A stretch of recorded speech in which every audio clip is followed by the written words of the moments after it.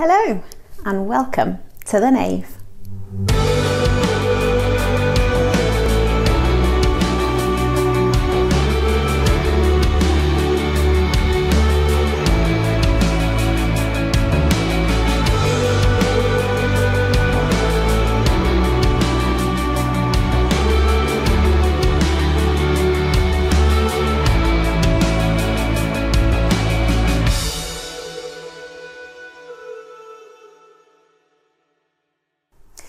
Lovely to be with you again today. And as always, it is my genuine pleasure to welcome you to our worship today. You know, it doesn't matter whether you're joining us live on a Sunday morning or whether you are watching this at some other point in the week. It really doesn't matter if you're here in Aberystwyth or whether you are somewhere uh, else in the world. Because, you know, while we might all be spread out and taking part through different screens and in different places, we might be on our own or we might be with our family but each of us is welcomed.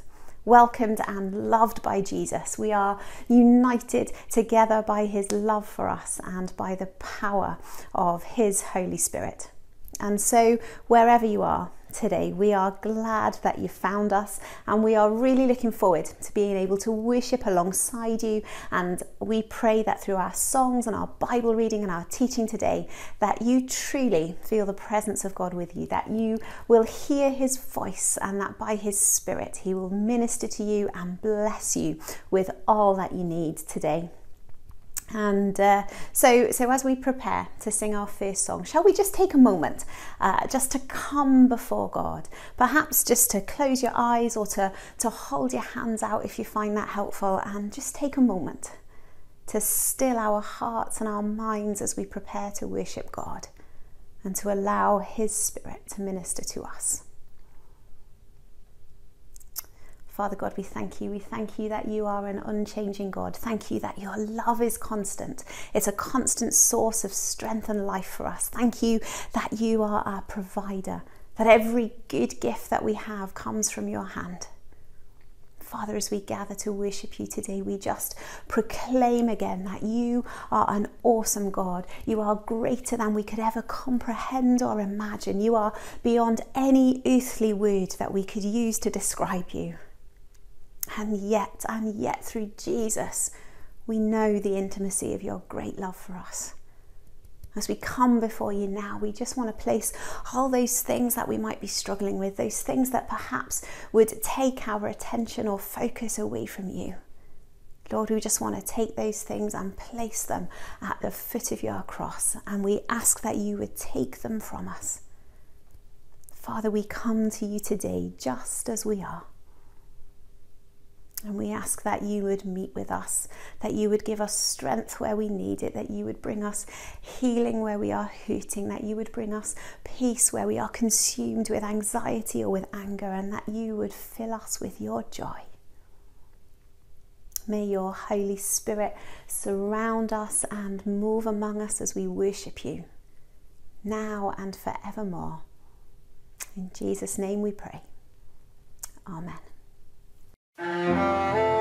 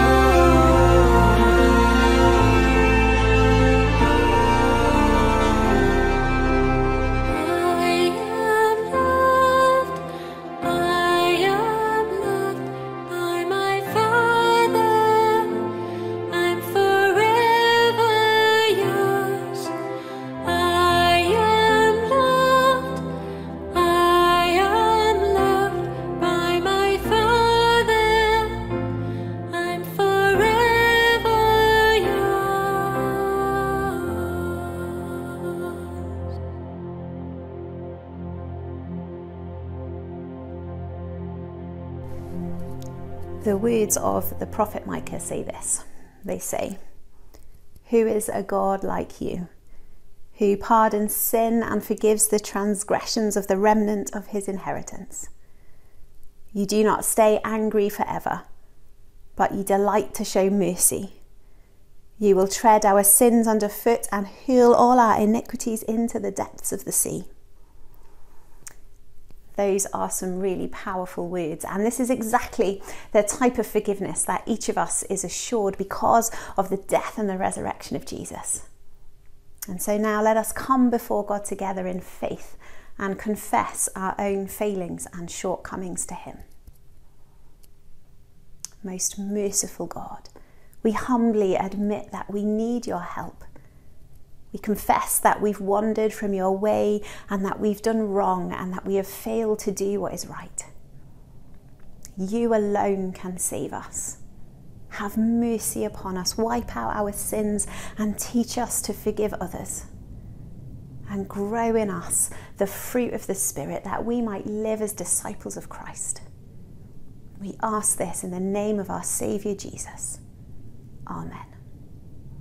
Almighty God, who has promised forgiveness of sins to all who turn to Him in faith, pardon you and set you free from all your sins, strengthen you to do His will, and keep you in eternal life through Jesus Christ our Lord.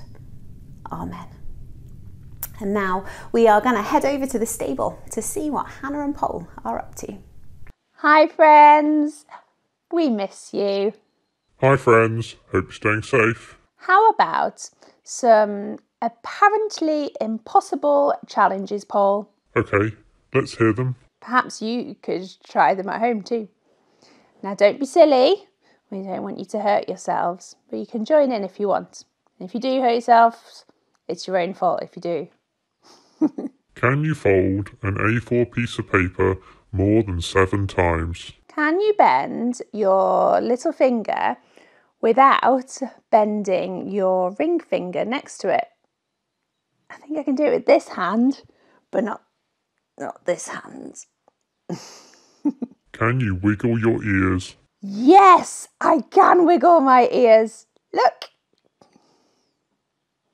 I definitely defy science by being able to wiggle my ears. All these things are pretty tough, though, right? Maybe they weren't for you. Bit like life for Paul and the Christians in Acts. Yeah. But they give us a really good example, don't they? They always seem to be seeking God first and trying to live in a way that honours God and other people. Thank you, Jesus, for their example. Mm, too right. And dear God, please help us keep honouring you and other people. Amen. Acts 21, verses 17 to 36. When we arrived at Jerusalem, the brothers received us warmly.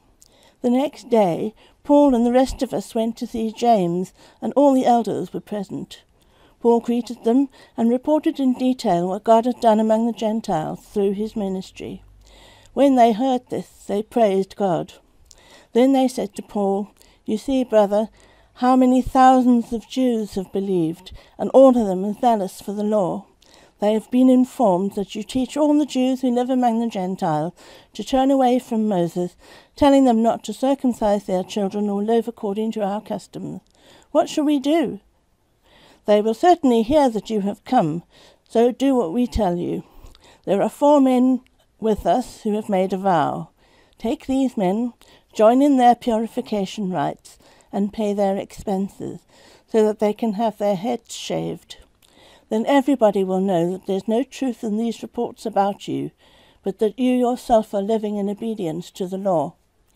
As for the Gentile believers, we have written about written to them about our decision that they should abstain from food sacrificed to idols, from blood, from the meat of strangled animals, and from sexual immorality.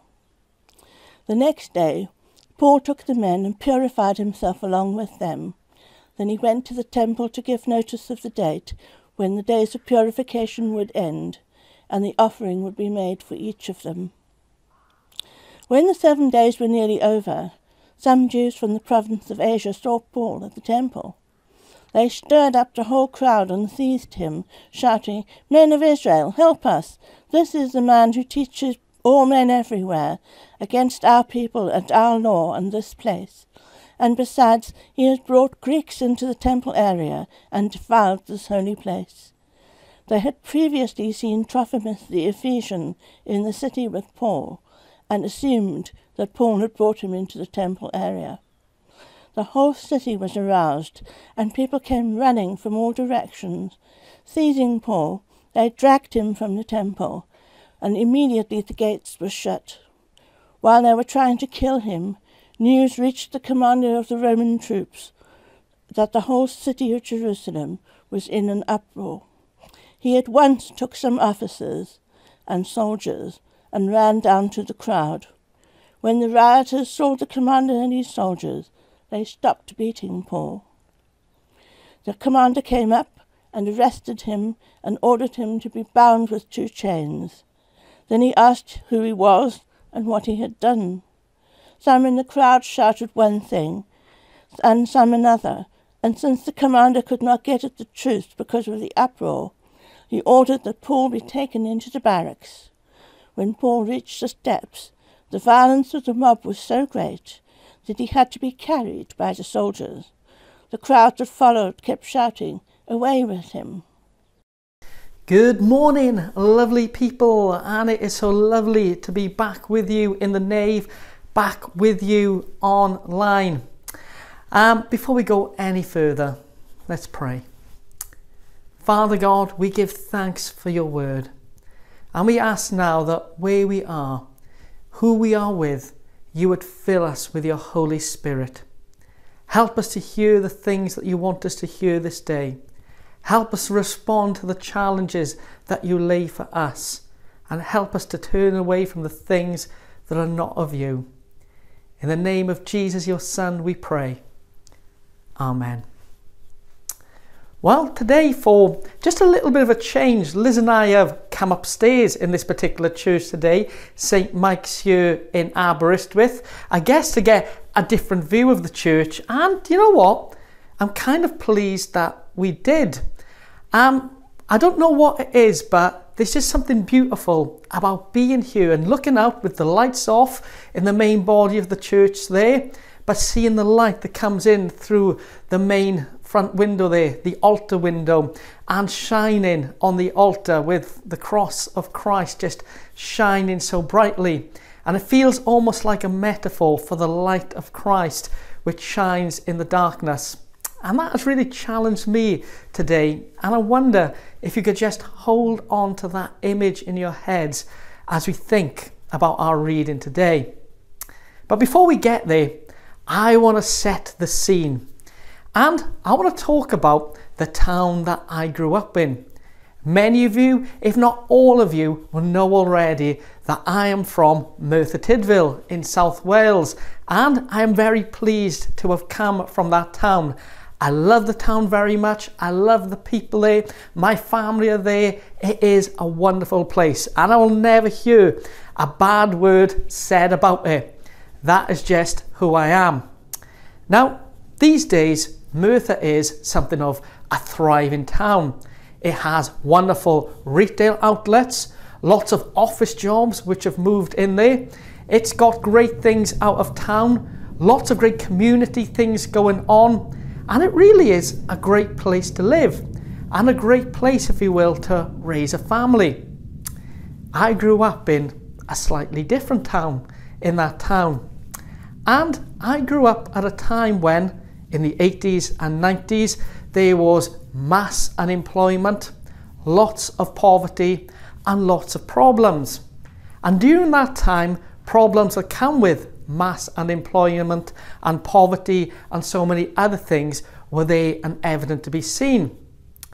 I don't think I'm doing my hometown down by saying that in those days when I was growing up, Merthyr could be quite a rough place to be there was violence. Schools sometimes felt like violent places, and at times it could be pretty scary. As for me and my friends, we were used to it, But for those coming in, it kind of gave a reputation for the town which, well, it doesn't deserve today.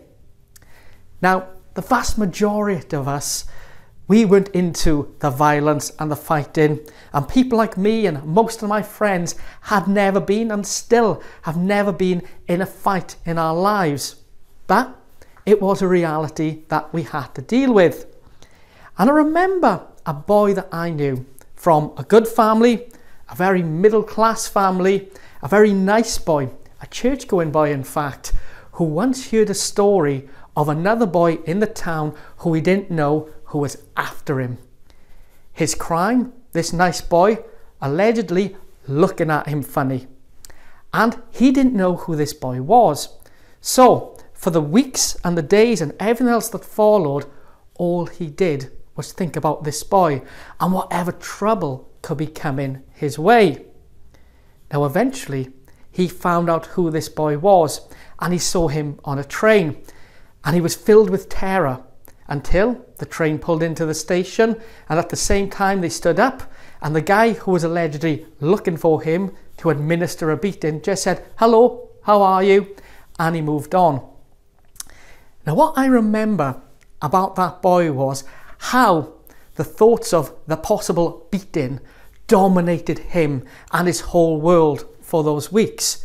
It was all he could think about. It was all he could talk about. When he was with his group of friends, it was all they discussed the feelings of fear and terror that came with it. And I'm guessing he wasn't alone. For most of us, that would be exactly how we would be. If we thought that a difficult time, if we thought that a beating was coming our way and we didn't know when, we would be filled with terror. It would be with us when we wake up in the morning. It'd be with us while we're in work. It'd be with us when we go to sleep at night. It would dominate our thoughts, dominate our work, dominate our working lives, even dominate when we're with people. We might be focusing and talking to a person, but our heads would be thinking about this one event. Now, I've told you that story from 1980s and 1990s Merthyr, but in many ways, we could be talking the same about the situation that Paul found himself in in our reading in Acts today. Unlike this boy who saw the other guy on the train and just said hello, Paul really knew that as he was entering into Jerusalem, he was in for a kicking. He was in for a beating. He was due to be arrested, taken, and dealt with. He knew that was coming his way.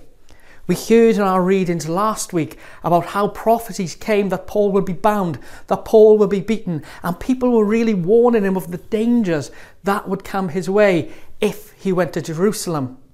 But Paul knew from the Lord that that was his calling, and those other guys gave a warning from the Lord as well to help him prepare his way. And sure enough, in the second part of our reading today, we see it come to pass. We see Paul being arrested. We see him getting beaten. And we see him getting beaten in a far worse way than that guy in Merthyr would have beaten that boy up. We see him really, really hurt. The worst thing is, he knew it was coming. And the amazing thing is, he carried on despite the fact he knew that it was coming. And we may question how on earth he was able to do that. And we may question as well how on earth he was able to stay so positive. Because for me, the most amazing bit of this reading isn't so much the way that he took a beating, isn't so much that he took a kicking knowing it was coming. It was what he did with the other disciples and the apostles and the leaders in the church in Jerusalem before that happened. He went with them, he met with them, and he encouraged them. He told them good stories of faith. He told them good stories of what God was doing. He told them of how the Gentiles were being converted, and they were amazed at seeing what was happening. Now, if I was walking in Paul's sandals in those days, it would have been a very, very different experience. I would have gone into that room, seen those disciples and Paul and said, Can I hide out here? Somebody's going to give me a kicking. I know it. It's going to be really bad. Can I hide out here? I don't want to say anymore. Will you keep me safe? Will you protect me? But Paul didn't. even though he knew this terrible time was coming, even though he knew this awful thing he was about to experience was about to become a reality, he told good news stories of God at work. He told stories of the good things that God was doing and he gave the glory to God. He gave glory to God. In the midst of the darkness, the light was shining. While trouble and sorrow was coming his way, he gave God the glory and he gave God the honour. He encouraged people and he kept things positive. Ways he could have focused on the darkness and the darkness that was coming his way, he focused on the light and the light that came from the Lord. And he focused on telling more people and enabling more people to hear the good news of Jesus, enabling more people to come to see that light, enabling more people come to know him. You know, there is a challenge for us in that because we are living in a dark world, as we know already. We are living in a world where horrible things are happening. We are living in a world where we are still seeing the effects of COVID and seeing the after effects of COVID. We are living in a world that because of COVID, so many more people are waiting for doctor's appointments and surgeries and all the fear that comes that way. We are living in a world where food prices are being pushed up. We are living in a world where energy prices are being put up. We are living in a world where people have so much fear about the future. We are living in a time of challenge to the church. We are living in a time where there is so much opportunity to focus on the darkness. And yes, as Paul did, we need to acknowledge the darkness. We need to know and acknowledge the real things that are coming our way. We need to know that life isn't all puppy dogs and ice cream and that darkness is a reality. But in the midst of all that darkness, we need to see the light of Christ shine. It is so easy to be consumed by the darkness that we forget about the light. We forget about the good things that God is doing. We forget about the good things that the Lord is doing right now. We forget that even at this time, in times of darkness for our world and for our church, people are still coming to faith. Miracles are still happening. Lives are still being transformed.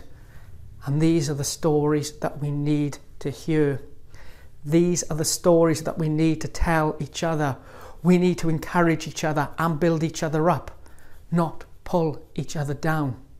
We need to pray over the dark things. We need to lift the dark things to the Lord, but we need to do so with one thing in mind God is sovereign, God is in control, God is still the God of creation, and He can do all things. We lift everything to God, knowing that He really is the governor. He really can do it all. And whereas our focus can be put on the darkness, we need to focus on the light. We need to focus on Christ. Because in the context of this reading, that is exactly what Paul did. He focused on the light. He knew the darkness was there, he knew it was a reality, but that did not stop him focusing on the good things of God. Now, more than ever, we need to tell encouraging stories. Now, more than ever, as the darkness shines, we need the light to shine even brighter. Now than ever, we need to be encouraging of one another. Now more than ever, we don't need to put each other down. Now more than ever, we need to see what God is doing and respond to His call. Now more than ever, we need to build each other up. Make it about the Lord and what He is doing and not about the darkness. Let's not give the devil the opportunity to have all the fun, but let us lift all things to God. And all of that, I guess, leads us to a very practical question. Namely, how on earth do we do it? You know, because it's very easy for me to stand here. It's very easy for me to look out and say, look at the light, not at the darkness.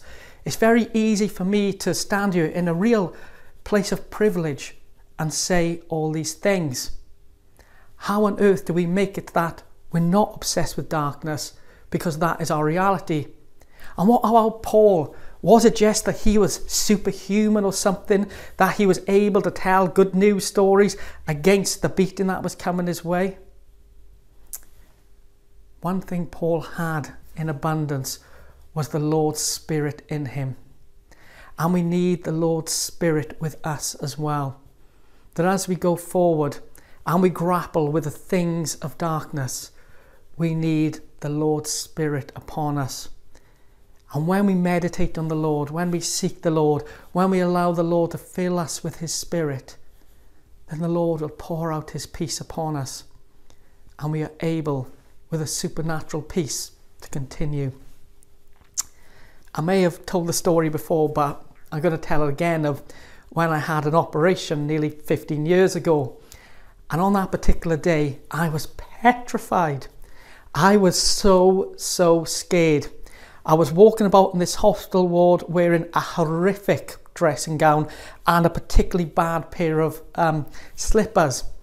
And in the end, the nurses told me to just to go back to bed, go back, lie down, and stay there. I was making a total nuisance of myself. I was shaking. I was trying to be sick. I was just all over the place. I was so consumed with fear. Anyway, I did the only thing that I could while I was there, and that was pick up my Bible. And so I read my Bible. I picked up my Bible and I read it. At that point, actually, I'd given myself a bit of a challenge before this operation to read all of the Bible, something that had taken me years and years and years. And at that moment, I came to finish it. And I always remember this wonderful, beautiful South African nurse who was very wise, who just came over to me as I was there and just said to me, I'm just checking that you're reading the right parts. It turned out that she was a Christian, and we had a little conversation about our faiths. Not a real in depth conversation, not one that took away from her job or her role, but a conversation of just people talking as you do in a hospital. After that, I kind of prayed, I guess, and I just felt a supernatural peace come over me. And I can't explain it any better. I just felt more at peace than I'd ever felt before, more peace than I do here now, more at peace than at any time in my life. And when eventually they came for me for this operation, I was in such a good mood. I was laughing, I was telling jokes, I was having a lot of fun. They tried putting me in a lift that wasn't working because there was a fire alarm going off and I didn't care. I never felt such a sense of peace. And that peace was the peace of God's Spirit. That peace was God's Spirit just resting upon me. That supernatural peace. It was that light shining in the darkness. And that is the peace that is open to all of us. And that is the peace that right now that we need to seek as the world and the church feel like perhaps they're losing their mind, as so many things that are going wrong, and we can focus on the things that are going wrong. We need the peace of the Lord to come on us. The peace of the Lord that came on me in that day. The peace of the Lord that was on Paul in this reading today. The peace of the Lord which enables us to have such peace that we can give thanks and focus on what is good even in the midst of everything that is going wrong.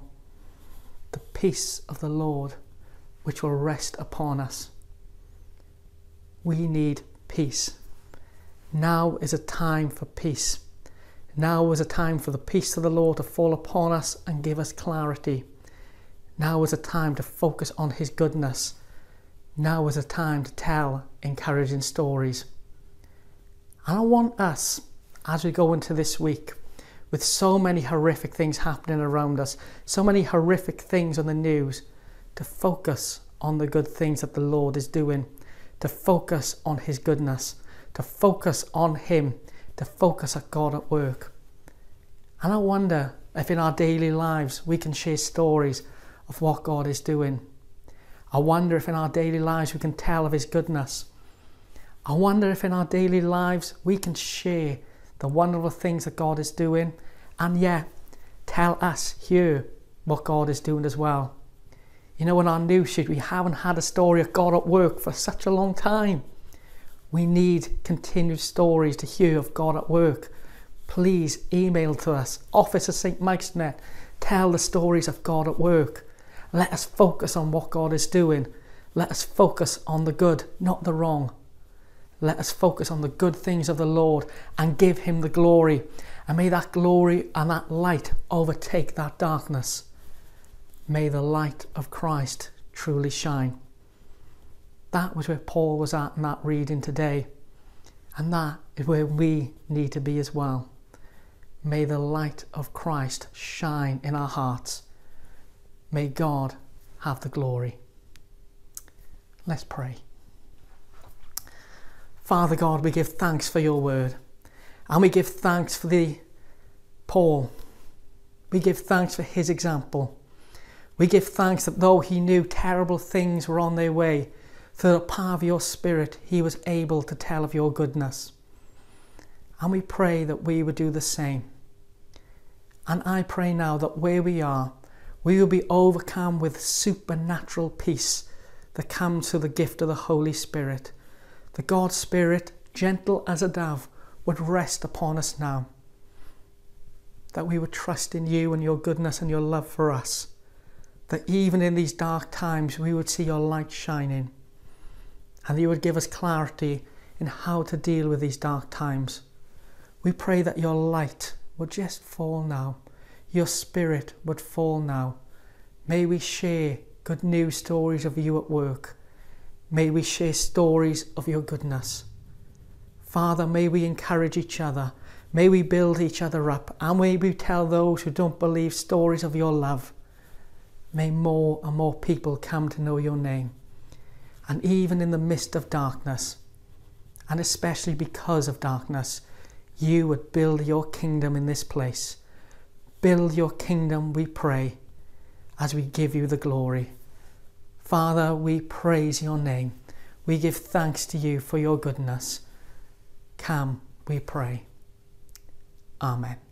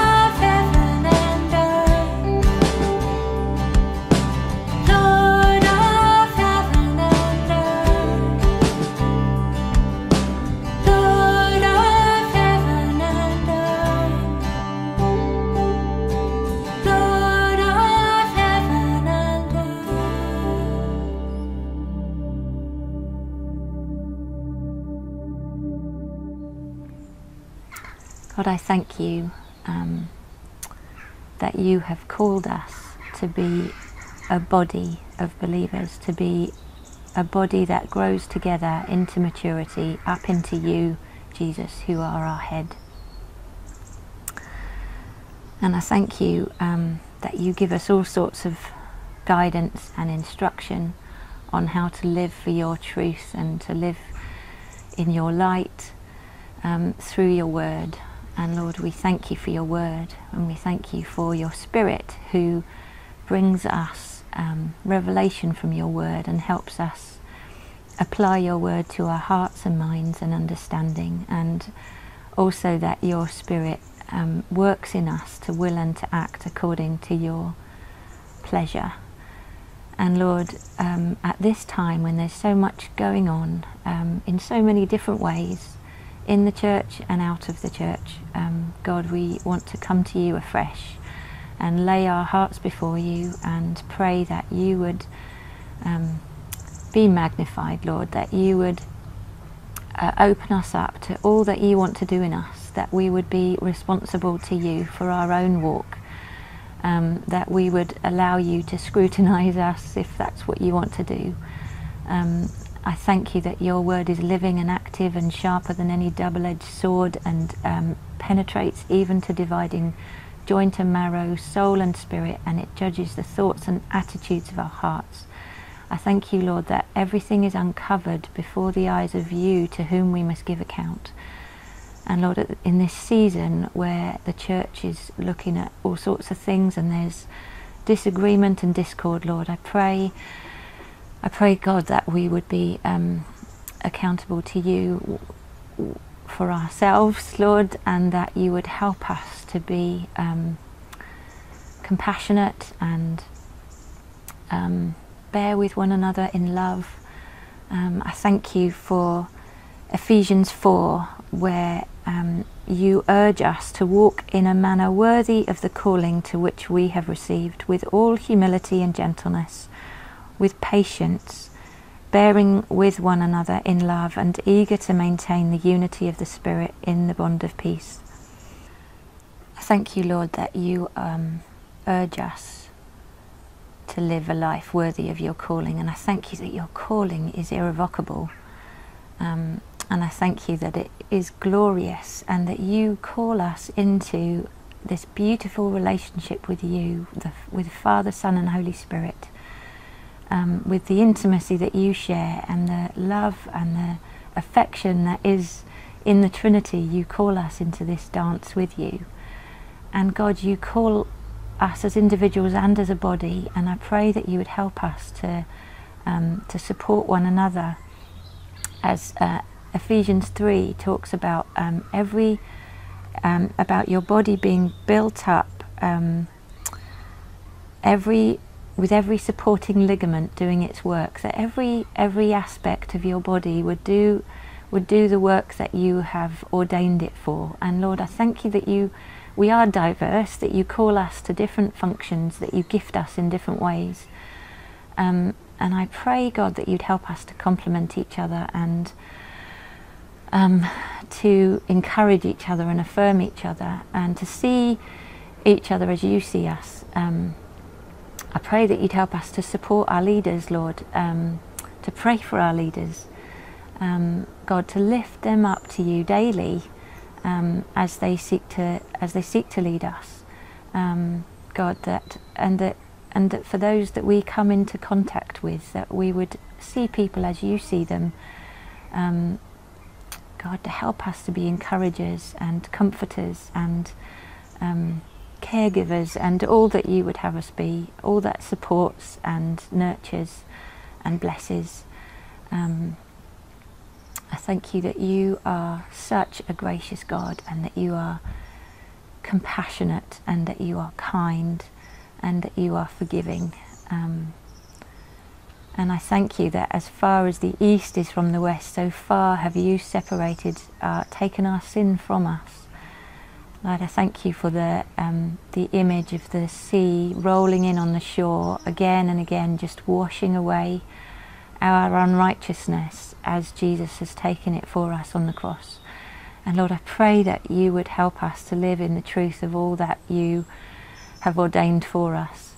Um, and Lord, as we work through these passages in Acts, I pray that you'd help us to live um, in accordance with your truth, Lord, to be um, to be revived by your Spirit and through your Word, um, to be excited and to be um, to have our the eyes of our hearts open to all that you want to do in us and through us as your body here on earth. That your kingdom would come and your will be done on earth as it is in heaven. God, we pray that this church in um, Aberystwyth and beyond, Lord, would be a blessing to you and that you would be glorified through it. In all aspects of it, God, would you be glorified, we pray. Help us to be your body on earth in Jesus' name. Amen. Well, our service has almost come to an end, and I would just like to say a massive thank you to everyone who has taken part in our worship. And I just, I just want to say again, it has been such a privilege to be able to worship with you today and to share our service with you. And we really do pray that you have been able to meet with God and to hear from Him today. In just a moment, we're going to sing our final song. But before we do, I just want to tell you a little bit about the different ways in which we um, would like to pray together each week and a little bit about our life groups. One of the things, as you know, if you're a regular here, is that we love to pray for people. And if you would like us to pray for you, then we would love to do that. And we can do that in a number of different ways. Um, firstly, you can email us, send us your prayer requests to prayer at stmikes.net, and we will pray for you that way. Uh, we can pray for you over the phone. If you give us a call in the week, then we would be happy to make an appointment with you to have a chat and a pray over the phone.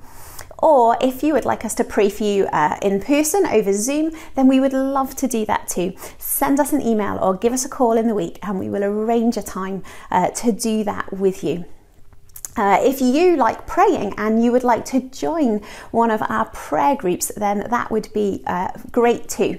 Uh, we pray every day of the week at 8 a.m. via Zoom, um, and we also have prayer groups that meet at different times during the week, both in person and online. So if you would like to know more about those groups, then please do uh, send us an email to office at stmikes.net or call the office, and we'll give you all the details that you need to know about how to join. Here in Aberystwyth, like many churches, uh, one of the ways that we approach our discipleship is to invite people uh, to be uh, part of what we call life groups. Um, so if you're local to Aber and you would like to join a life group, then please do get in touch and we'll hook you up with a local group. But we are also looking to start an online life group. A life group is a small group uh, where we come together to pray and to worship and to, to read the Bible and to just support one another in our discipleship and the different things that life chucks at us from time to time. And so a life group can be just a really good way of connecting with other Christians. It's a great way of exploring our faith and growing in our faith together. And so, if you are not already part of a life group and you would like to do this online with other people, please do give us a shout and let us know, um, and then we can arrange the times and days and stuff like that. But but now, as we uh, begin to bring our worship to a close, let's join together in our final song.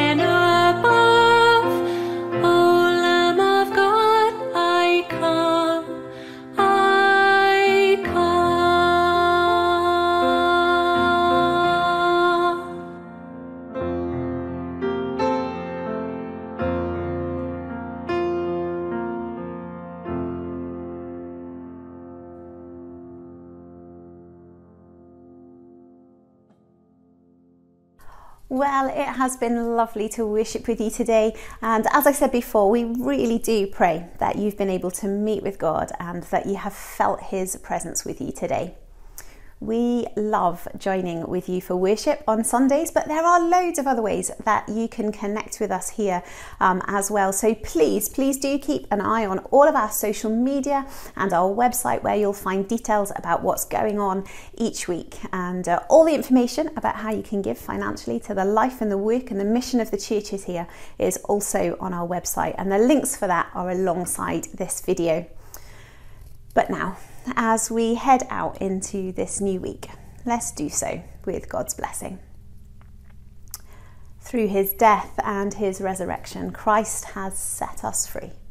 Therefore, may we live with boldness, courage, and conviction. May we love freely, give generously, and pray passionately. And may we entrust all that we are to God, for we belong to him and him alone.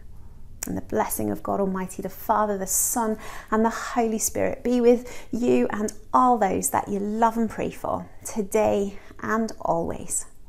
Amen. Take care, have a good week, and we'll see you soon. Bye bye.